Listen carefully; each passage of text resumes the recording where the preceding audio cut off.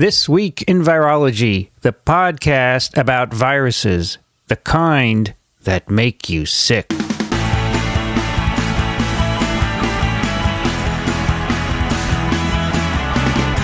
From Microbe TV, this is TWIV, This Week in Virology, episode 399, recorded on July 22nd, 2016. This episode is brought to you by CuriosityStream, a subscription streaming service that offers over 1,400 documentaries and nonfiction series from the world's best filmmakers. Get unlimited access starting at just $2.99 a month. And for our audience, the first two months are completely free if you sign up at curiositystream.com slash microbe and use the promo code microbe. Hi, everybody.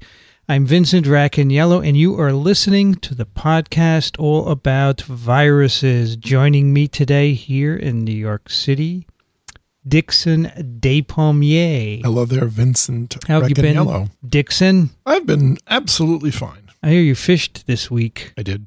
Did you catch? I did. Would you catch a rainbow trout? No, no, I didn't catch any rainbows. I got all browns, Brown trout? all brown trout. You threw them all back, right? Salmo trout. Exactly.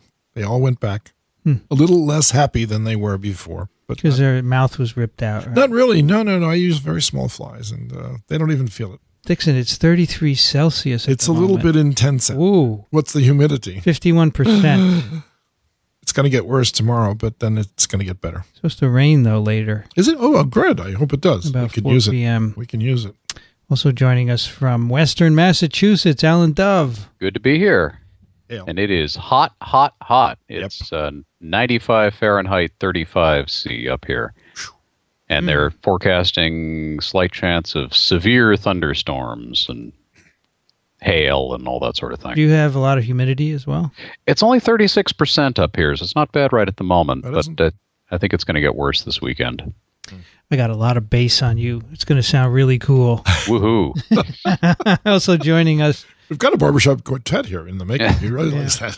now also joining us today, he's coming from uh, Oregon. Oregon, sorry, Oregon. Rich Condit. Howdy, everybody. How you doing? It's That's the right response, by the way, Rich. Howdy. Uh, right. Yeah, that's the Western. I, I missed the temperature in New York. What did you say it was? 33 Celsius. Now you want to Oh, know what what is- that is? Yeah. It's 33 Celsius, dude. It's like 93. Uh, It's in the 90s. 92, Okay. 93. Okay. It's hot. And what is it there? It is here 68 Fahrenheit, 20 Celsius. Oh, whoa. Clear blue sky. nice. Absolutely gorgeous. It was 48 hmm. degrees Fahrenheit when I got up this morning. How neat. Nice. But you didn't say where you were. Oh, you Oregon, I'm, but I, which Oregon? I am where? I am in Sun River, Oregon, a hmm. little south of Bend, there you go. on the eastern slopes of the Cascade Mountains in the high desert. Outstanding. Yep. It's gorgeous. So this is our first episode in a couple weeks. Last one was at ASV, I think. Right? Yeah, it's more than a couple of weeks. It's like three weeks or four, weeks. Four weeks. weeks. Four something. weeks. Oh. Now, uh, Alan, next year, next summer, uh, we're going to do an ASV at Madison, Wisconsin, and you should come. Uh, We'll pay your way Hey, that'd be great. because now we have some money from our wonderful Would you pay my way? supporters and your um, and our uh, our Patreon patrons. So we could you Dixon. Yeah. What about me? I Come tried on. once and you canned out at the last minute. So I know, but I, I wouldn't never can out. I, no, no. eh, This is Madison, Wisconsin. You don't. You don't say no to that. I might I might send That's you a fun out. town. Yeah. Uh, so put that on your calendar. What's I'll the- keep it what mind. the date? Of course, you don't have to go. I understand if you don't want to, but Time let, me- let me year tell you the let me tell you the dates. Please. It is uh, June twenty fourth through the twenty eighth. Magic time. Actually, the twenty fifth. That's Through the that's a great time 28th. to be out Plenty of mosquitoes. there. Speaking of Speaking of mosquitoes, so I've been away for three weeks. That's why we had interview twivs posted. Where'd you go, Vincent? I went to Japan Oh, with cool. uh, with most of the family. We, we our Excellent. older our older son couldn't come because he's working, but my wife and two younger kids. We went for three weeks, traveled around Japan. It was awesome. I loved it. Man, what a great country! S- really cool. I highly recommend it. And so, um, but I did arrange for twivs in my absence. So uh, I don't. I know people like to get them, so you Right. got them.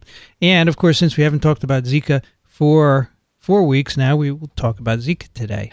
The the um, barrage of papers is slightly slowing down. I have a folder where we've been collecting Zika papers. And you remember at the out, at the onset of the outbreak, what was, there were 50 papers since 1947, Right. and I, this folder has now 500 papers in it. Nice. Oh my god. Do they all say the same thing? no, they say some of them do, right. but you know, each one has some issues. They're not all Yeah. really great. Although today we have one that I really like. Anyway, I thought we'd do a little follow up, cover some things. Um, if you if you're interested in, I know we have lots of international listeners, but uh, here in the U.S., uh, the CDC keeps a track of all the cases. Now, in the continental U.S., that doesn't include Puerto Rico, American Samoa, and the U.S. Virgin Islands. Continental U.S. locally, Or Hawaii or Alaska. really? That's not continental. Yeah, I know, but you know, Hawaii it certainly isn't. Hawaii has had some imported. Oh. Well, anyway, well, they, they have data for the U.S. states, which would There you go. include That Alaska and counts. Hawaii No, that, that's states. a better so. I shouldn't say continental. no, you shouldn't. Okay, fine. Uh, there are zero locally acquired cases, although there there's So one in far. Florida which they think might be locally acquired, but we don't know for sure yet. Even if there is, I wouldn't be surprised. There are going to be a few. Sure. Travel associated cases 1,403. Goodness. There's one laboratory associated case, 15 sexually transmitted cases, and five Guillain Barre. I'll be darned. Wow. In U.S. territories, that's what they call them, Dixon. Right. Puerto Rico, American Samoa, and yeah. U.S. Virgin Islands. Yep. Locally acquired cases, wow, 3,815. Yeah, that's right. Only 12 travel associated cases. they've got the right vectors. and yeah, 14 Guillain Barre. I love to say Guillain Barre, Do. just like I love saying Reduvido. but you wouldn't like Yeah. to have Guillain Barre. No. and the vast majority, vast majority of those Zika cases are in Puerto Rico. Yeah, they have a lot there. Right. They have a big outbreak. A few, a few in American Samoa and the U.S. Virgin Islands, but the 98% of them are in uh, Puerto Rico. So our friend Tyler Sharp is busy. He is busy. Hmm. Now, right here in the U.S., there is a suspected female to male transmission here in New York City, actually. Which I think we predicted. We did predict. We said if it's sexually transmitted male to female, it ought to be sexually transmitted female to male. Right. So this is a, a uh, non-pregnant woman in her 20s. She um, returned to New York City after travel to an area with ongoing Zika. On the day she returned, she had condomless uh, vaginal intercourse with her with a male partner, and then the following day she developed fever, fatigue, rash, myalgia, etc. On day three, she went to the doctor and gave blood and urine.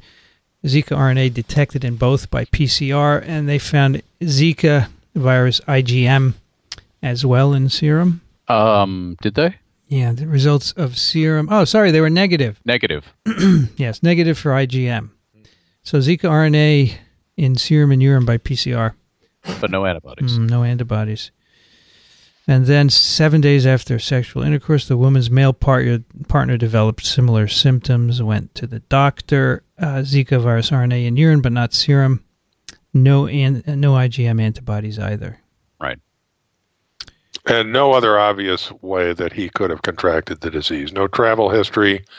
Uh, Didn't uh, recall being bitten by a mosquito. Yeah. Right. No blood transfusion. Now, in con- no blood transfusion. Now, in connection with this, I found an article.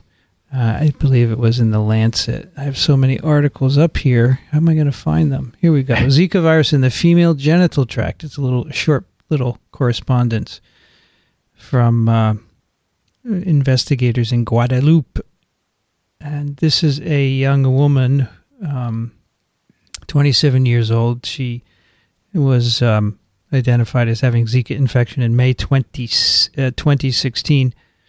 And they did uh, a genital swab, an endocervical swab, and a cervical mucus sample was collected. All were positive for Zika RNA by PCR. Mm. On day 11, the blood and urine were. And at that time, uh, the cervical mucus was still positive by PCR. So apparently, the vir- viral RNA at least can be present in the uh, female genital tract. So that could Right. be how was transmitted to the man. Although I think it still could be saliva or urine, right? Right. Right. And with the with the CDC report, the first one, Mhm. um, which the it, it's been touted by everybody as as um, sexual transmission, female to male, um, and I agree that the data are consistent with that. Mhm. But I'm a little puzzled that nobody was antibody positive, and the um, the man's serum was uh, RT-PCR negative. Yeah, yeah. So you know, it's not it's not absolutely clear. Uh, so wait a minute. His serum was RT-PCR negative. yes, his urine How was positive. Oh, his urine was positive. Okay, fine. Because the other thing that's missing from this that I uh, hope will appear eventually is a sequence analysis of the viruses involved. Yes, Uh, maybe we'll see. I was um, uh, curious about the um, this paper on Zika virus in the female genital tract, how it came to be that this study was done. But then I noticed that uh, the majority of the researchers are in the Caribbean Center for Reproductive Medicine, Right. Uh, so they're in the business of doing this kind of thing. and they say I'm not sure exactly what this means, but um, the patient was monitored for oocyte cryopreservation because we follow the French Agence de la Bio- Biomedicine recommendations for infertile patients in Zika virus infected areas. Uh, yeah, that was a little bit. Uh, so she she appears to have had um, the part of the part of a fertility treatment protocol done, and Yes. then then they, then we lead into this out. Right. Then we lead into the genital swab and a cervical swab. So I don't know. I don't know exactly what the um, whole picture was here. There was apparently there was more going on than just uh, apparent Zika virus infection. Yeah, it's not clear. It's a Uh, little. yeah. It's a little bit uh, briefly written, so we but don't for know. some reason they did these Yeah. swabs and they came back positive for Zika and they remained positive for Zika RNA after uh, she seems to have cleared the virus from I mean, my interpretation is that she was going to give oocytes, and they were checking to see if there was virus Oh. present, and Okay. that- and that's why they were doing this. so she's uh, an egg donor. yeah, Okay. That that's the the text is vague, but that would be my story. yeah. Okay. That would make sense. So that's why they would be doing these swabs. Right. This is not routinely done for anybody who shows up with Zika virus. But just remember these um, so these so-called sexually transmitted cases are very very rare compared to all the others transmitted by mosquito bite. Yes. Do Yes. we know if dengue can be transmitted this way? Uh, sexually transmitted? Yeah. Hmm. Let's look. Let's just search Dixon. I, I'm, Uh, actually, uh, so I think if you look back at the CDC sort of Zika update that you did before and do the math, uh, in the U.S., there uh, we're talking about what? About one percent sexually transmitted. yes, something like that. 15 out 15 out of 1400 just slightly more than 1% and of and of course well those are presumed sexual transmission seem to be sexual transmission so i guess that's about what we were reporting before about 1% Mm-hmm. And I'm getting I'm getting a lot of Zika papers when I'm searching for on PubMed for dengue sexual transmission. Yeah, I got one here. Myths about dengue. It is not sexually transmitted. right. So just trying to fit that into the general biology of the Flavic group. I don't know why this uh, would be different, Dixon, but um, you know, Apparently it is. it is. That's it Good is what it question, is, yes. right? Well, and nobody uh, dengue has not been linked with um, birth defects, has it? no No, there's been just very One or a couple two. of reports of Yeah. uh, crossing the placenta Yeah. but certainly nothing like zika so there are differences So yeah, it may be that this that Zika virus can get into places that dengue virus can't. Yep. It's all about receptors, right? That's one of the things, uh, Dixon, but it's others things as well. It's not just receptors. Okay. Someday that will be the title of an episode. It's not just the receptor. well it could we could make that today's title why not No, we have another. We have another addition to the list of choices here, which I We do have some. I came up with one, which you guys might. Um, we have an interesting case in Utah. We don't have a lot of information on that, but this is an elderly Utah resident. He died in June. He had traveled to an area where there was Zika. and he acquired infection. Had apparently a lot of uh, so they say he had unique. The CDC says he had uniquely high amounts of virus in his blood, but what they really mean is viral RNA. I'm sure. Right. They're not looking at infectious virus. And then he was cared for um, by I think a family friend who then acquired infection. And and, and this made the New York Times. How old was the guy, It- by the way? Oh, he was older than you, Dixon. That's really old. That's really old. Um, Ancient. not sure. They don't actually say They just say elderly. elderly because they want to protect his identity. Apparently immunocompromised, though. Yes. They could have been, yes. Yeah. Do you feel immunocompromised? Not even the least. Not in the least. Anyway, so the New York Times headline: Zika virus baffles health officials. You know, here's the, here's what I'm thinking. you have an elderly person who's being cared for. There's probably a bedpan involved with urine, and we know the virus is in the bedpan, and those things slop around when you. So why is it baffling that the caregiver got infected? You know, if they have cuts on their hands, or you know, Yeah. I guess that's probably how it happened, right? Yeah, sure. What do you think, guys and gals? Uh, no Sounds gals. Sure. reasonable. That's Sounds about yeah. Uh, It, what what what It was probably not sexually transmitted. what was not clear to me is Who knows. It knows? looked it looked Sorry, Dick. it looked as if there was a fair amount of time elapsed between Mhm. the caretaking and this guy showing up with the disease. Am I right about that, or is I'm just looking at the reporting? Maybe it's Uh, not clear.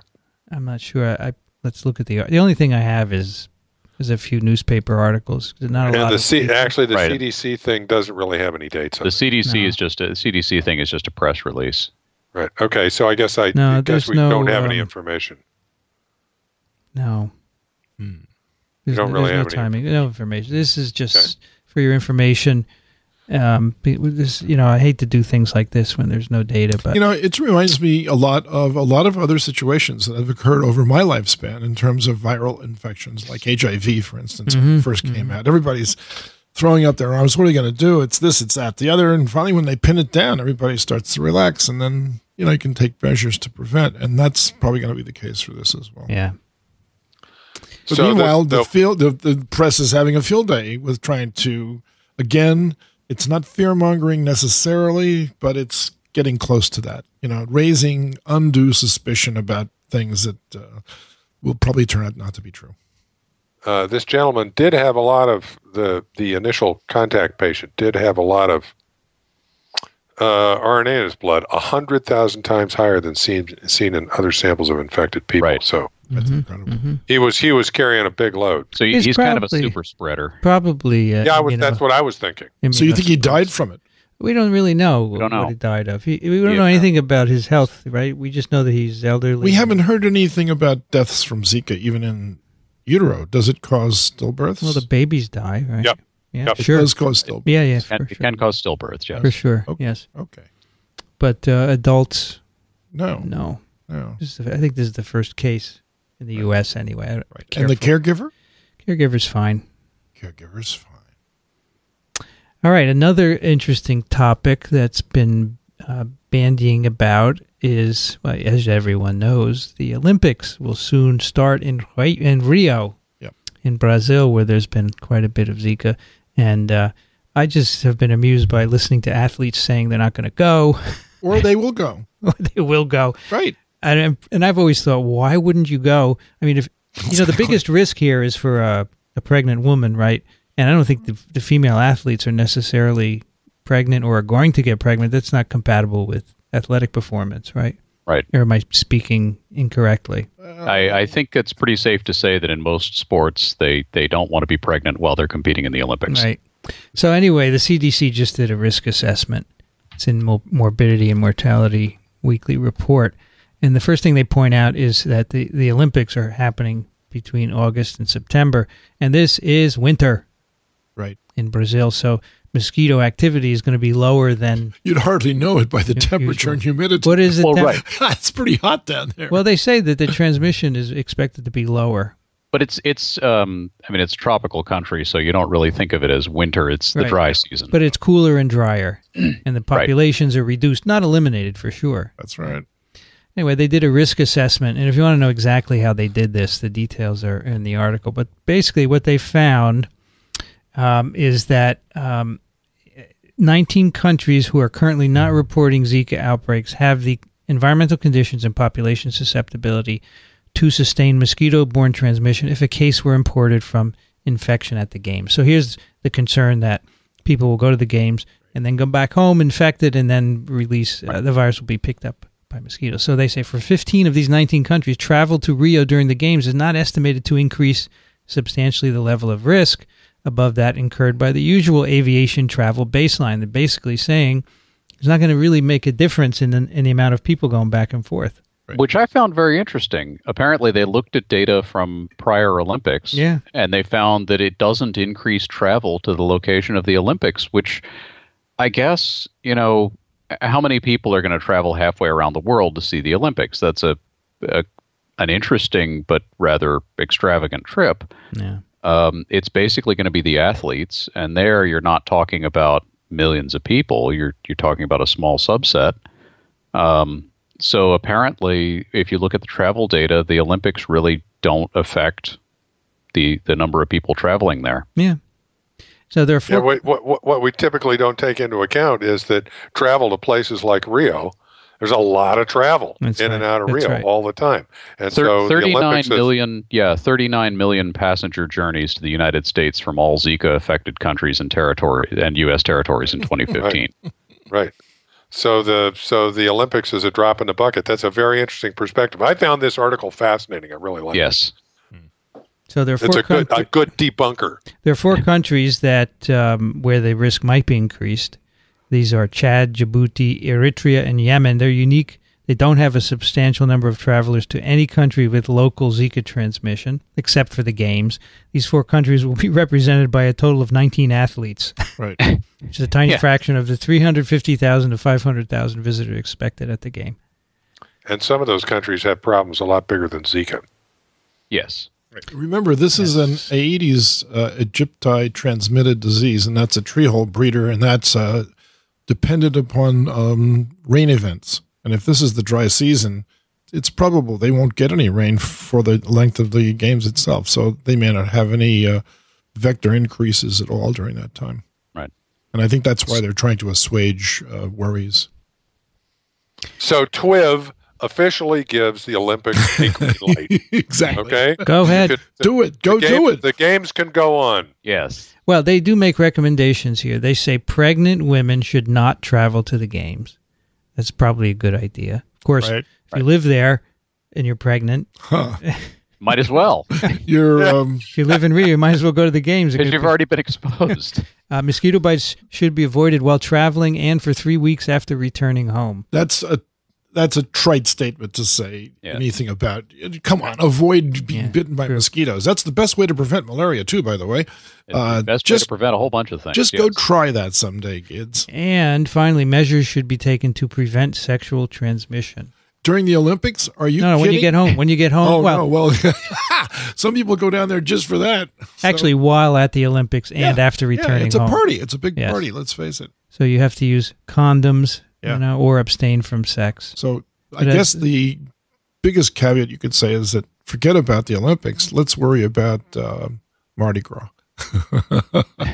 and the Carnival because that that's going to occur right at the time that this transmission cycle should be at its height. Right. do- They get a lot. Anyway, this this uh, this send to all the athletes, particularly there were a bunch of golfers who said they weren't going to go. exactly. Although it turns out they're That's not because going. there's no prize money. There's no prize. exactly. Hey, Rich, did they, did they get down to your level yet to say, okay, we'll take condit to hell with it? But you know, a couple six months ago, some of the f- um, female soccer team members said they weren't going to go, but now they're going. they changed their mind. Yeah, that's Um, right. Female basketball team's going. They should go. There's no reason of not to go. Of course. You just don't want to get pregnant within, you know, what six months or a year after going. Just be careful. All right, that's the Olympic, the Zika Olympics. We should call them The Zika Olympics, yes. Zika Olympics. Zika- Now, a little bit about Zika vaccines. Uh-huh. Wow, there are 15, at least 15 companies working on vaccines against Zika virus. Wow, that's a lot. I, I cannot, is. even Ebola, there weren't 15 companies working No, on but this Ebola sounds like more global. Of course, outlook, right? absolutely, absolutely. And they know So, what I understand vectors, that. so- Yeah, right, right. And um, I wanted to talk about one which has just been published. There's a paper published on it. It's been published in Nature, an accelerated article preview. It's called Vaccine Protection Against Zika Virus from Brazil. There's a, a large group of uh, individuals from Harvard Medical School, University of Sao Paulo, and um, the Walter Reed Institute, uh, et cetera, et cetera. But what this is is cool. It's a DNA vaccine. They take uh, DNA encoding uh, the glycoprotein, the, the E glycoprotein, and the PRM, which is a smaller uh, glycoprotein on the virus particle surface associated with it. So DNA encoding it, and they inoculate mice intramuscularly with the purified plasmid DNA. Dixon, have you ever heard of this? Of course. Of course. Okay, I just want to make sure you're up. Be nice. Be nice to Dixon. I said it in a nice way. I know, but you implied total ignorance on the part of the listener. So these um, mice respond by producing antibodies within a couple of weeks, which you can detect by ELISA, by by uh, Western blot, and they're neutralizing antibodies. Mice also make virus-specific T cells. They mo- so I know what they are too, by the way. Yes. uh, and then uh, they challenge these mice uh, with uh, Zika virus. So it's a single immunization with 50 micrograms of plasmid DNA. They challenge them, and the uh, immunized mice develop no viremia, whereas the uh, mock Im- or the control immunized mice develop a nice, robust, as they say, viremia. So completely protects against Hang on developing a viremia. Is this virus promiscuous in terms of host specificity? No, it's not promiscuous, but it will infect mice. And what else? uh, non-human primates, humans. Other rodents? I don't know about other rodents. I don't Uh, think you know it, the inf- the infection of mice is sort of a it's a the mouse can serve as a model, Yeah. so it's a Right. laboratory thing. right. It's, uh, they they can't serve as a reservoir But the receptor is there.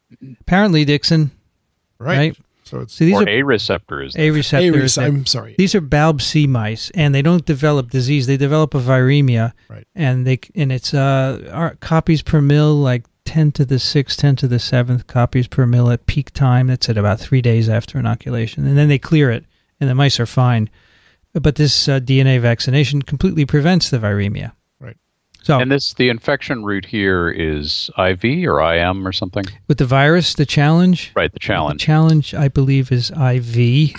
Okay. Let's just check. Yes, they are challenged IV. When you say the And- mice are all right, did they check their brains to see if they had any virus Take in them to the opera. They didn't check their brains. They no. did not? No, they didn't. Wouldn't you? I would have, yes, but they didn't. Of course you would have. But I am not them, Dixon. No, you're not, but you are you. and we are all together. And we are all Uh, I think- together. I think, the point is that the virus doesn't um, seem to replicate or, or get too high titer, so these these mice are neutralizing it. No, no, I, I got that part.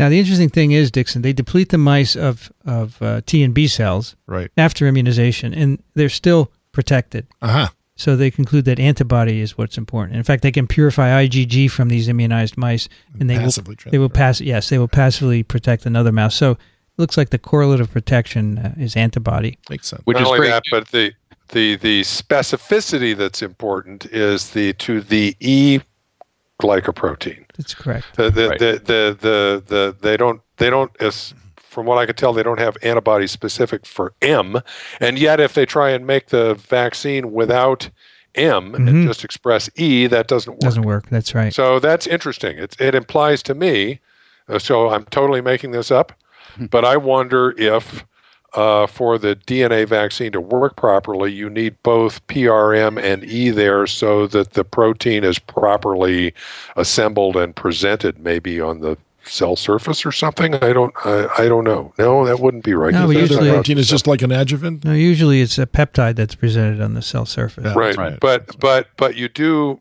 the so I don't have an explanation for this, but you do need M and E in order to get Yep. the uh, response, even though the response is only to E. That's That's interesting. correct. But it's great news that um, that antibodies appear to be protective. Yes. hmm Because making making a vaccine That's that elicits an antibody response is something that we are very very well equipped to do, which I think Yeah. is I think that's Mm-hmm. a big part of the reason. I think there are two major reasons why so many companies are interested in this. Um, one, uh, as compared to Ebola, um, one is that the um, the virus is relatively easy to work on. This is not a BSL four pathogen, so you don't have to have a BSL four factory in order to develop the vaccine. Uh, and the other is that there's a pretty clear path. I mean, we kind of suspected from just the epidemiology of this that uh, uh, it would not be all that horrible, horribly difficult to come up with some kind of a vaccine. So it seems like there's a pretty good shot of it, and the the potential market's huge. Oh yeah. And the pot- uh, that's the last statement, Alan. Yes, I that's was your actually most right. relevant statement. That is actually the most relevant part. the The potential market for an Ebola vaccine could have been pretty big Well, because there was a lot of fear surrounding it, but but it didn't leave West Africa though. and and the barriers to developing that were substantial and and in this case those things are all exactly the opposite way you know Exactly. it looks like looks like there's a path to a product that will sell a lot of bottles Right. Yeah, the other the other part of this paper is that uh, sort of as a confirmation that we're looking at antibody to a surface protein. Uh, they make an inactivated virus uh, vaccine and do that, and that and and that works as well. So uh, it all makes sense, as you say, Alan. That this, there's a clear path to a vaccine and a number of different technological routes to it. and now that said i think we're going to talk about some stuff in a few minutes that may complicate this picture a bit This um, so a DNA vaccine is very handy because a lot easier to prepare than a, a virus vaccine of any kind. right Right, all you need is DNA. Yeah. Now we don't have any approved human DNA viral vaccines. Um, I believe that's the this, case. this could be the first. There is a West Nile vaccine for horses. I understand that's a DNA based, based vaccine, uh, but this would be the first. Now, here's the question: We've got this mouse experiment. What do you have to do next before you mm-hmm. do a phase one in people? Do you need another animal experiment? i believe you do Ferrets. A, non, a non-human ferrets. primate. Okay, a non-human primate. Those are available. the yeah. fda is going to want to see at least a, at least probably a few different animal experiments yes. So, what would be the fastest this could come to market? You, hmm. What do you think? Two years? Three years? somewhere in that time zone if everything goes perfectly Yeah. Yeah. All right. And then the other question is who would get this vaccine? Anybody who wants it? So, all, Um, everybody in Brazil? Could be a cocktail along with your yellow fever vaccine. You know, when you ask this question, what comes to mind is a conversation we had a while ago about the rubella vaccine that's Uh-huh. been available. that's been available for such a long time that's uh, right. that's under right. under similar circumstances, and yet not everybody gets it. So, I would guess that uh, in the U.S., it would be a travel related vaccine. If you're going to go to a Zika endemic country, you should get it, just like yellow fever vaccine at the moment. If you go Mhm. travel somewhere, including Brazil, where there's yellow fever, you get the that vaccine. It'll depend on how much transmission we have in the U.S. Yeah. If if we get a little transmission in Texas and Florida, you can imagine them immunizing there. That Right. that could squash that. But what about Brazil and Colombia and Mexico now, where uh, and uh, many other countries where the virus is circulating? Would you um, just target pregnant women or women in general of childbearing age? I'm I think, given what we're going to talk about in a few minutes with the antibody interactions, potential antibody interactions yeah. with dengue, um, one of the things that I would certainly want to see before before weighing in on that is um, uh, how much of a problem is that going to be for dengue, yeah. for dengue? You know, because if, if Yeah. you go and you vaccinate everybody in in Puerto Rico against Zika virus, and now everybody gets dengue shock syndrome from you know Yeah, sec- yeah. infection of dengue, then then you really have not helped. Um, yeah, Absolutely. yeah. but Uh, that's- but that's assuming assuming you can get around that, if you can develop a vaccine that does not carry that risk, then you would want to push ahead ahead with it as much as possible. I think. Yeah, of course. I hate to say this, but the best control against Zika virus is the vector control. Well, yes. Yeah. That's so in not- Puerto Rico, that's what they would have to do. They would have to double up on their control programs for, for treehole breeding mosquito species. Right. Yeah, you know, uh, Peter Hotez wrote an article about that recently, Dixon. Oh, good. saying that we should, you know, we never should have stopped our vector control programs Yeah. Here in the U.S. This is true. Well, we did. Um, I don't think we did. No, he says we did. No, we just cut back on them Cut we back. cut we cut back far enough that we might as well have stopped. because we have mosquito control boards in most states, and uh, there are epidemics of, or, well, not epidemics, but outbreaks but of a lot of- encephalitis. But a lot of states, um, the mosquito control I hear you. efforts are, are more for show than anything else. You know, they go Yeah, around, spray. they spray adulticides in in Yeah, they do it wrong. They do it. yeah, that's a nice idea, but it doesn't really get at the problem, and you Yeah. need to go and do Yeah. do proper habitat elimination.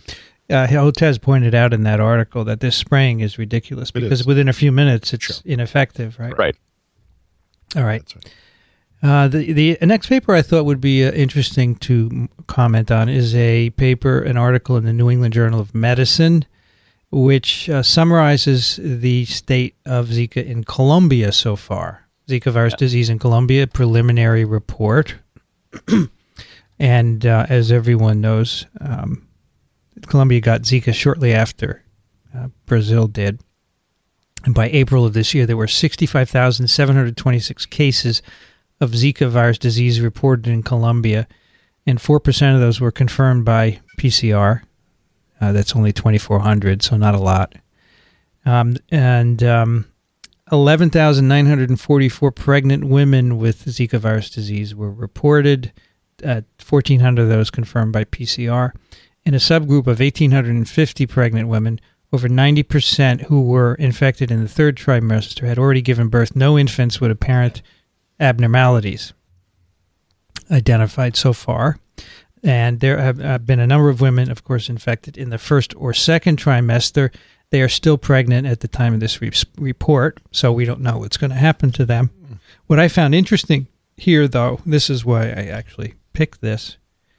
Um, four patients had laboratory evidence of congenital Zika virus disease. Uh, Right. These were babies born to asymptomatic mothers. So these are mothers who were infected apparently, and their children uh, had microcephaly, and they the mothers had no symptoms. So you can uh, transmit the virus to the fetus even if you don't have symptoms. We have we have asked this in the past on the show, so that's why I Right. thought it was interesting. Um, one thing that that took a little digging to pull out from the paper because they kind of scattered it around was um, uh, as I was reading the the incidence information. You know, 65,000 patients reported to have Zika, uh, uh, Zika virus disease. Um, that is based on symptoms. Right. And then this small subset were actually tested for Zika virus. And the first thing I thought was, well, what proportion of the group that you tested came out positive? Mm. Because that would give you an indication of the quality of your surveillance program. Uh, these the symptoms for Zika virus are very generic for the most part. So you could be putting a lot of people into that bin who don't belong there. Um, but they do actually say 73% of the samples that they that they took um, had positive RT-PCR results. So that that if that holds for the general 65,000 people who were reported, that would suggest that their um, symptom-based reporting is actually pretty good. Yeah. So those are those are probably probably a substantial proportion of those 65,000 people uh, would have come out PCR positive had they been tested. And among the PCR negative ones, they did find folks who who tested positive for dengue and chikungunya. Right. So you get expected results there too. A lot of infections there. Yes, From one little bite, perhaps. but but yeah, it's very interesting that the the third trimester pregnancies that have now come to term Yes. that doesn't seem to be a, a big problem, and that's very encouraging. It's good. Yeah. All right.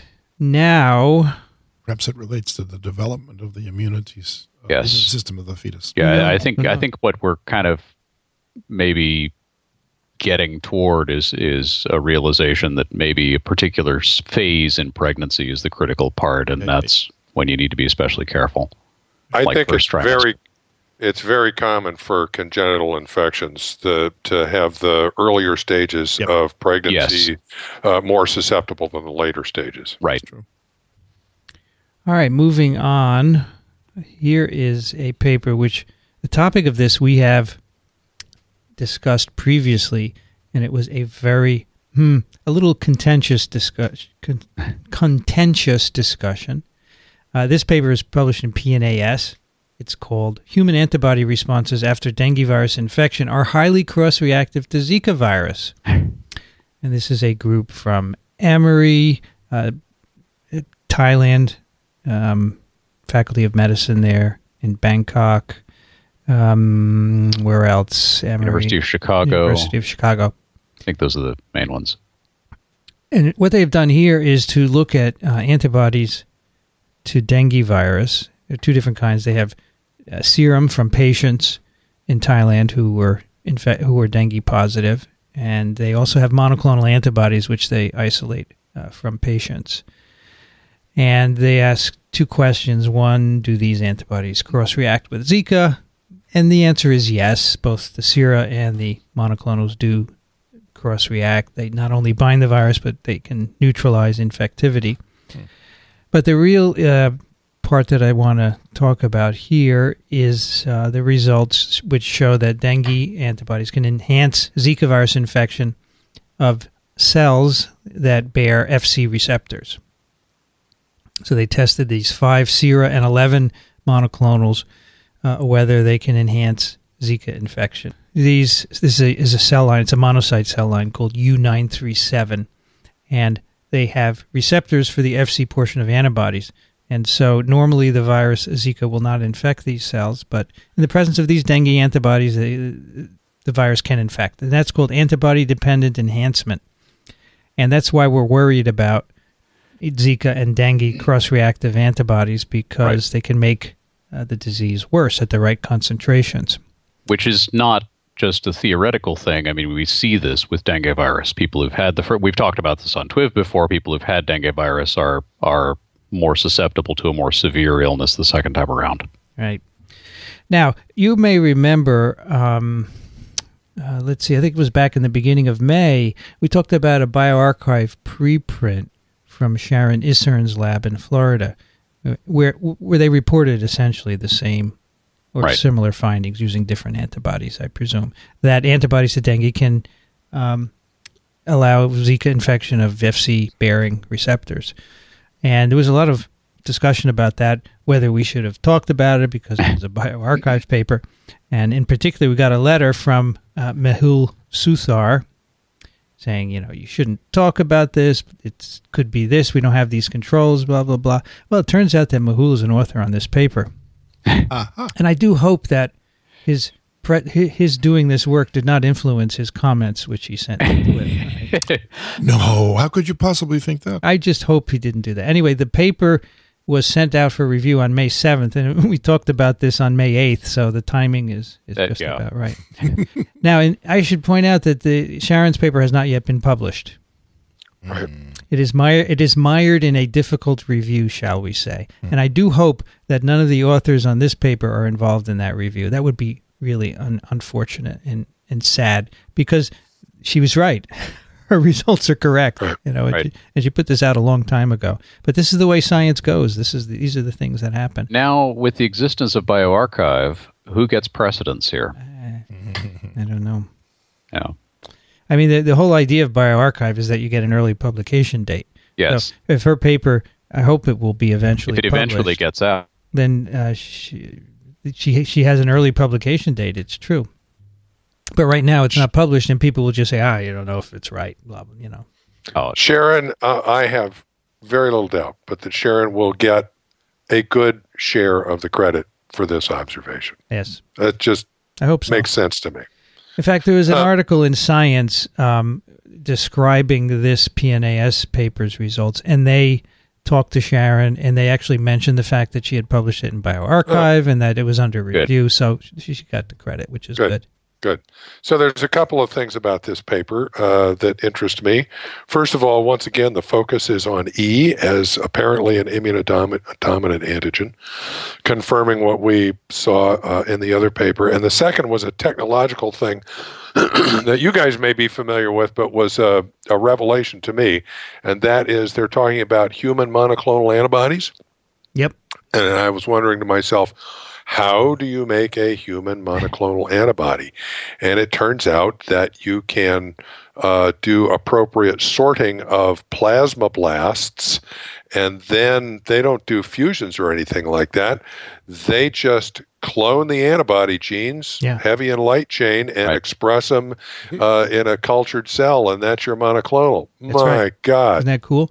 Yeah, that's how you get these. That's how you get these broadly neutralizing flu, Yeah. HIV, and now dengue flavivirus antibodies. It's very cool. It's just stuff we could never do before. Yeah. Now, while we're, these are, of course, antibodies to dengue that um, enhance Zika virus infection, the converse is also true. There's a paper that came out in Science, which I didn't put on this list.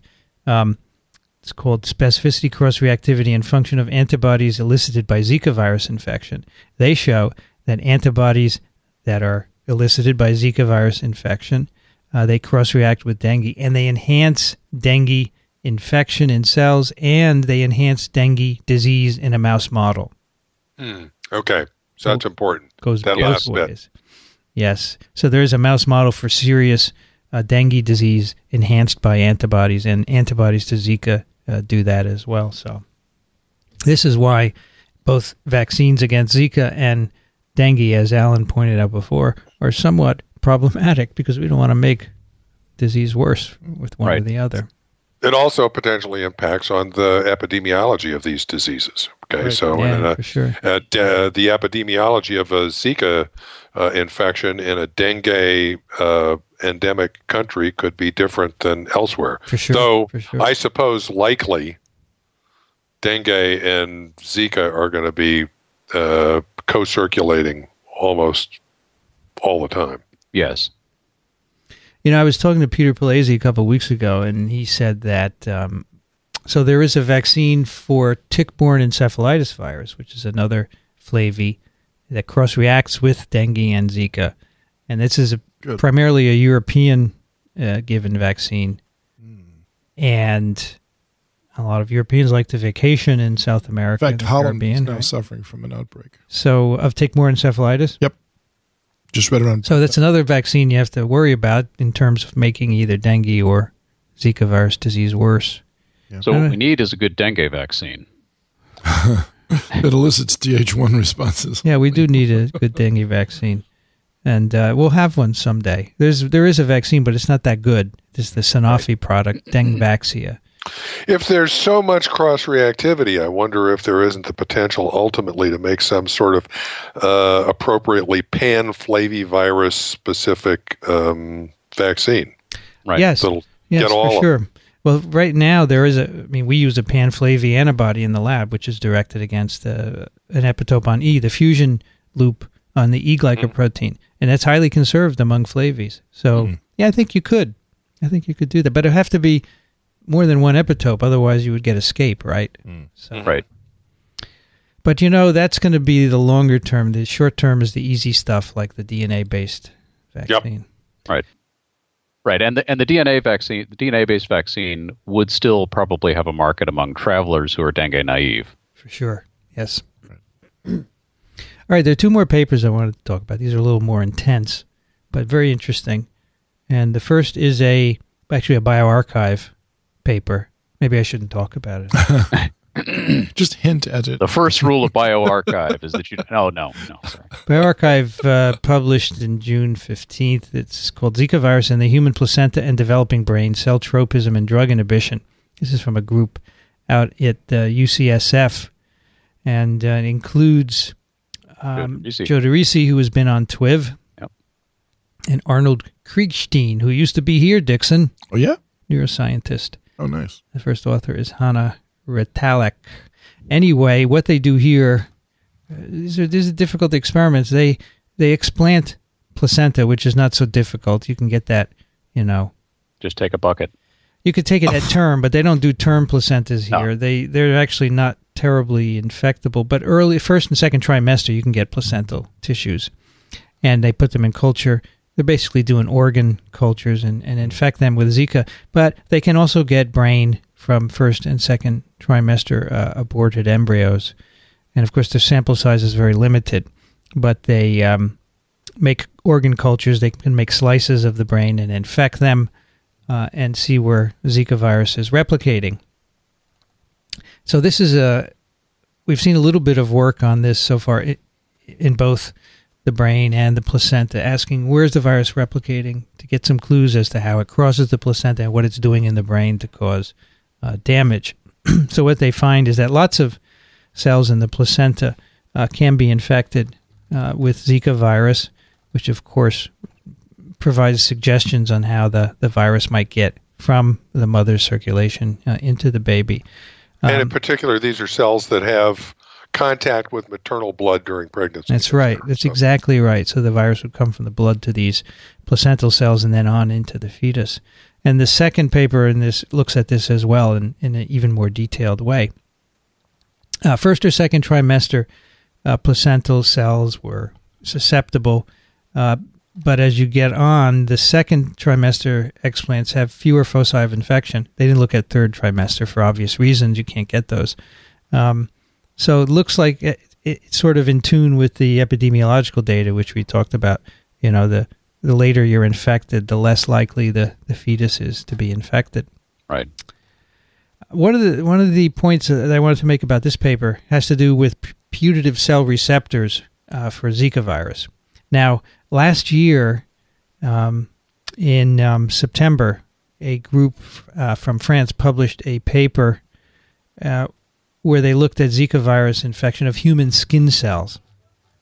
It's long before anybody was all excited about Zika virus. Uh, they did a number of studies, but one of the things they did was to look at putative receptors. Now, uh, what they did was they said for dengue, there are a couple of uh, cell surface proteins that are implicated in dengue virus entry.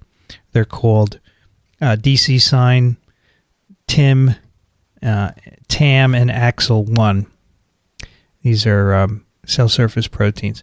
And so they looked at these and they produced, they took clones, plasmids encoding the genes for DC sign, TIM1, TIM4, AXL, another one called Tyro3, and they simply produced, overproduced these proteins in cells. And they found that production of either DC sign, which is a uh, a, co- a, a, cofactor for HIV entry. In some cases, it, HIV can bind and, and uh, attach to uh, dendritic cells. Overproduction of either DC sign or AXL enhanced viral infection. And they also found that an antibody to AXL inhibited viral infection. Uh, however, an antibody to TIM1, remember that protein, TIM1, did not uh, really affect Zika virus infection. So they said, well, there must be a complex of proteins needed for virus entry that maybe include AXL, AXL, and TIM1. Mm. Now, since that paper, many, many other people have gone on to look at AXL uh, production. You know, there have been lots of studies in neurological tissues and placental tissues as well. And, you know, there's no direct conclusive evidence yet that any of these are receptors but people are very excited about AXL1 nonetheless. And you can find, and here they say in this paper, you know, it's been suggested that AXL is a receptor for Zika virus entry.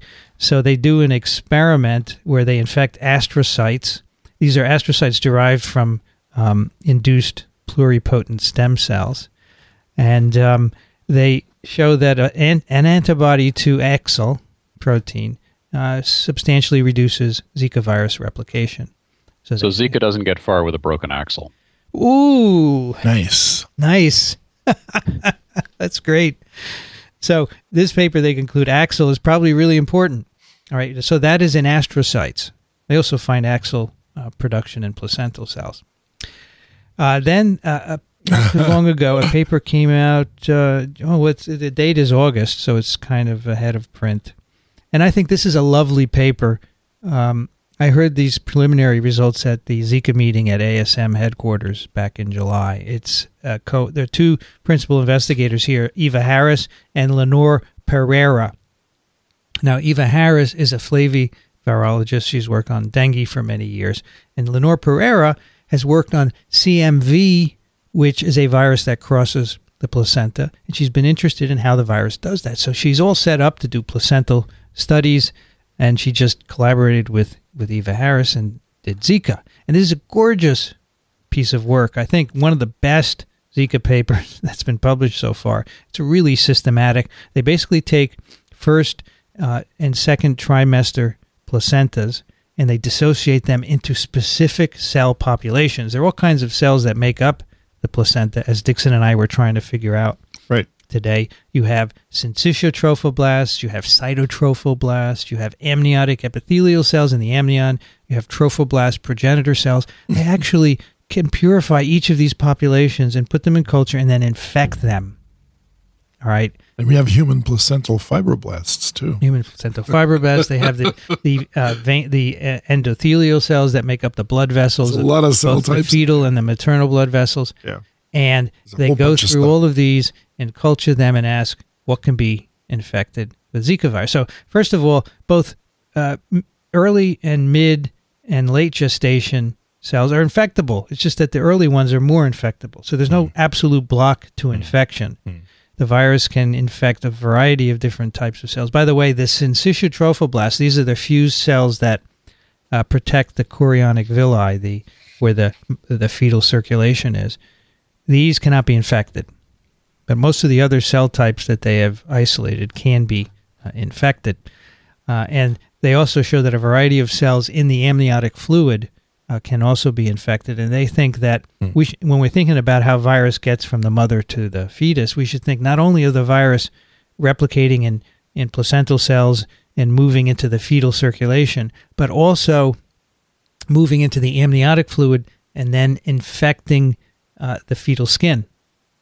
All right, So they call this placental and paraplacental mechanisms for infection, because it, there is a very nice picture of the placental here, and you can see how uh, infection of some of these cells could lead to virus in the amniotic fluid directly, not just Right. in the, the fetal circulation. So there's there's two ways that it can get in there. Anyway, it's a, it's a lovely paper in terms of all these cell types. What I want to focus on here is that they look at expression of AXL and Tyro3 and TIM1 in all of these cells. And TIM1 is regularly expressed. They have lots of samples from different women, of course. TIM1 is expressed in many different cell types in all of their samples. Where's the sentence that says that? I want to I want to read it to you so I get it exactly right. Uh, whereas AXL is less um, universally produced. Let's see. Let's see. Where is it? Here we go. Um, TIM1 is consistently expressed on cells throughout the uterine placental interface in basal and parietal decidual chorionic villi and amniochorionic membranes surrounding the fetus. In contrast, AXL and Tyro3 expression varied by donor, gestational age, and tissue and was modulated in culture and differentiating cells. Then they do an experiment where they have a drug. It's a small peptide um, called, the hell is it called? Duramycin. This happens to bind to phosphatidylethanolamine in the virus membrane and prevents it from binding TIM1. TIM1 binding is apparently dependent on phosphatidylethanolamine. So this peptide it will inhibit TIM1 binding, and this has a major effect on virus infection. So that's in contrast to a lot of the other results we see. These people think that TIM1 is an important uh, entry factor and not AXL. So the bottom line is um, it's complicated. Stay tuned. Yes. Exactly right. Don't don't just say It it's could. axle. Don't just say it's TIM1. It could be a combination. It could vary in different Right. tissues. It could vary in the brain versus the placenta. But this paper is very lovely and has lovely experiments, beautiful figures, a lot of data. If you're into reading this stuff, you should check it out. And of course, in female ice skaters, it's a double axle receptor. Wow. So um, the the observation that there's no or little infection of syncytiotrophoblasts is also in contrast with some other observations. Is that correct? No, The that's other correct. paper- Other people have found the same. Syncytiotrophoblasts are pretty resistant to infection. Okay. Remember, that's Carolyn Coyne years ago. Yeah. That, right? Yep. Yep. Because they Yep. make all the, presumably because they make all those microRNAs. Uh, Uh, right. right. Anyway, yeah, that's consistent among the different groups. The syncytial syncytiotrophoblasts are not susceptible, but all the other cells that pretty much that make up the placenta and the interface, they can be infected. And But again, Yeah. go ahead. But the identity of the of the Zika virus receptor We don't know. is still controversial. So this we've group- got we've got two good candidates. This group would say TIM1, and the other group The other would say would say Axel. Axel. It could be both. Could be both. We yeah. will see. We'll see. People are probably doing knockouts right now and sorting this out, so we'll see what's happening. Anyway, it's a cool paper. I really like it. I think it's one of the Yeah. better ones, as I said, that has been uh, published so far. Incidentally, all the papers that we're talking about today uh, seem to be open access. Nice. That's really great. Yes. I hope it stays that way. Speaking of open access, actually has nothing to do with open access, but I want to tell you about the sponsor of this episode, Curiosity Stream, the world's first ad-free nonfiction streaming service founded by John Hendricks, a friend of Dixon de Pommier, A personal. and um, also the founder of Discovery Communications. They have over 1,400 titles, 600 hours of content. You can watch the uh, titles in 196 countries on the web, Roku, Android, iOS, Chromecast, Amazon Fire, Kindle, and Apple TV. So, what do they have? A wide variety of science and technology content, nature, history, interviews, nonfiction. Right? It's all life as it is. it's not fiction. It's not reality shows mm-hmm. either. They also have 4K content, the high definition stuff, over 50 hours. So, for example, Stephen Hawking's universe is there. They have Next World with Michio Kaku. They have a whole bunch of programs on viruses. One of them is all about Zika virus, of course. A series called Life on Us that explores our body's di- biodiversity. And Microbirth, a series that looks at how babies are born and what happens to them later in life, depending on how they're born. So you get real science shows, not reality TV science shows like the ones on cable TV. They have monthly and annual plans starting at $2.99 a month, less than a cup of coffee, Dixon. yes, Vincent. Substantially less. $3. I just bought a cup of extra large coffee the other day. It was $3. Wow. It was delicious. Uh huh. Check out curiositystream.com slash microbe. Use the promo code microbe during sign up to get unlimited access to the world's top documentaries and nonfiction series completely free for the first 60 days. Two months free of one of the largest 4K libraries around. Go to curiositystream.com slash microbe and use the offer code microbe at sign up. We thank Curiosity Stream for their support of TWIV, which will allow us to bring, for example, maybe Dixon and Allen to ASV next year or somewhere else. Sure. Travel. Uh, it will help us next week when we all get together for Sure. uh, TWIV 400. And upgrade our electronic equipment. Upgrade it. Yeah, all sorts of things. Now, we do have a very large backlog of emails, and we will not make much of inroads today, but we will. We, I, I think we really do need to do an all email episode. You think? sometime. Well, maybe Yeah. af- maybe after 400. Yeah. Yep. All right, the first one is from Stacy. Hi, Vincent and all. It's 13 degrees Celsius, 56 Fahrenheit here in Chevy Chase, Maryland. You can tell from the temperature how old the email is, right? Yes. That's I am a stay at home mom with a background in art, and I've been listening to the TWIV podcast for many years, usually while I prepare dinner. Recently, The Economist magazine published a graph showing the percentage of measles vaccination across the world from 1980 to 2013. It's pretty disheartening, but worth checking out. It, and she uh, links to this Economist uh, chart. Um, yeah, you got a little slider there. You can move it and see. hmm Um, It's you know. crazy. it goes up, but there are still lots of areas with um, without coverage. I bring this up because I am currently enrolled in a Coursera database class, and our assignment is to imitate what The Economist does so well with its graphic detail blog. That is, analyze a data source and create a visualization of the data to highlight something of importance. I have been extracting links from microbe.tv slash twiv using code provided to us by the professor. Thank you, Dr. Chuck and having a lot of fun. But I was wondering if your team or other listeners might be able to direct me to any data sources I might use for this assignment. I am as much a noob at programming as I am with virology, but my interest in both just keeps increasing, and it would be great to merge them. Thanks for keeping my brain happy while chopping many, many onions. I have a feeling her assignment is over, but Yes. it's cool that she's uh, pulling out the data from that's scraping, right, Alan? Yes. And can you do that, uh, for example, these, these uh, sites like Google Health or whatever that track infections? Can you can you pull out their data? Probably. It depends on how they've set up the site. Yeah. Um, I know government sources like the CDC go to some effort to make their data available um, in ways that don't require page scraping. Yeah. Yeah. so right. in those cases, you would just need to know what the format of the data uh, has, how, how the how the data have been structured, and then you can you can tap directly into it. Um, but it depends on on how well that's been done. I don't have specific suggestions for stuff to scrape or to to mine. Uh, but hopefully she already found that Yeah. because, as you say, it's, It's now. Jul- it's now July, and this was for Yeah. something in the spring.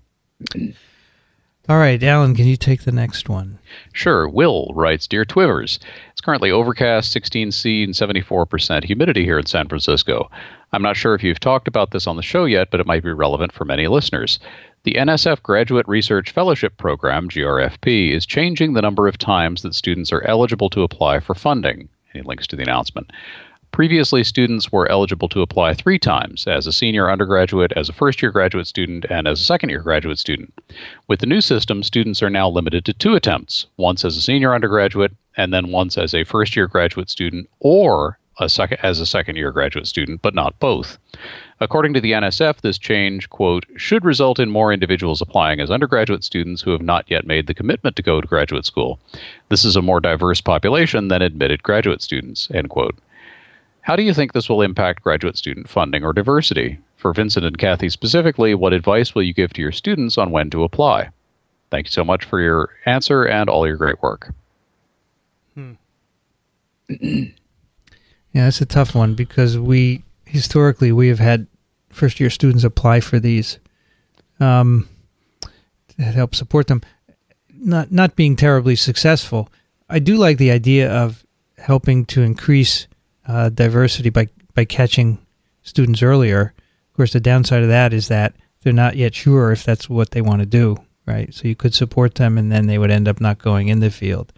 Yeah, they also have to. They've got this relies on their being pretty good uh, advising at the undergraduate level. Mhm, Somebody's mhm. got got to be on the ball to advise these kids. But I do like I do like the idea of capturing uh, students early. It says so many of these so, uh, so many of these funding devices seem to be. Uh, yeah, I'm here. I'm already rolling. Let's see if we can get some other source of money the, other than what I already have uh, to keep me going. Uh, it, it it makes more sense to encourage people to pursue science uh, with a fellowship up front. But whether this will work or not, I don't know. You know, Yeah, I, I just don't Tough know. one. I and as you say, these are hard to get. They're very hard to get.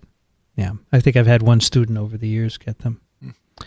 Will started listening to TWIV because of Professor James Shampoo at the University of Washington through an assignment to review an episode. I picked TWIV 254, and now I listen in graduate school. Excellent. I think Alan is um, a wall. His, uh, Really? His- Alan? Yeah, his He thing. gone? His thing is uh, Just read and leave. Is that it? Alan. Uh, Rich, can you take the next email? Sure. Melissa writes, Love Twiv. Thank you for doing these podcasts. I was wondering if an episode on the virus causing starfish wasting disease is in the works.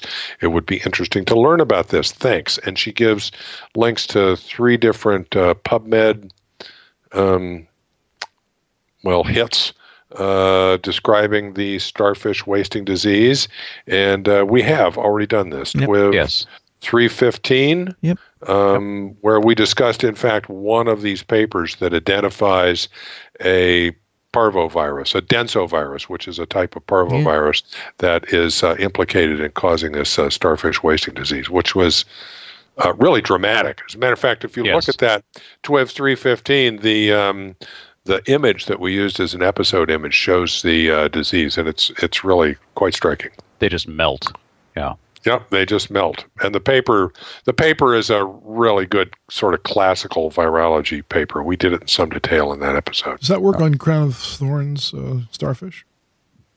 I I don't know. Because that's a huge epidemic Oh, on the. Uh, I yeah, I think it was not doing anything good.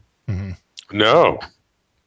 It was, was really actually- uh, to use Dixon's word, decimating the starfish. Yes. one out of ten. Nixon, are you able to read email? I'm able to read Can you read email. I would love to read Derek. In fact, I like his beginning very much. Dirk writes, Hey, difficult to always greet in a unique and funny way, friends. a paper on antivirals from a pharma company that challenges patients with strange drug pricing. Remember Sofosbuvir? But that also makes important progress in the field.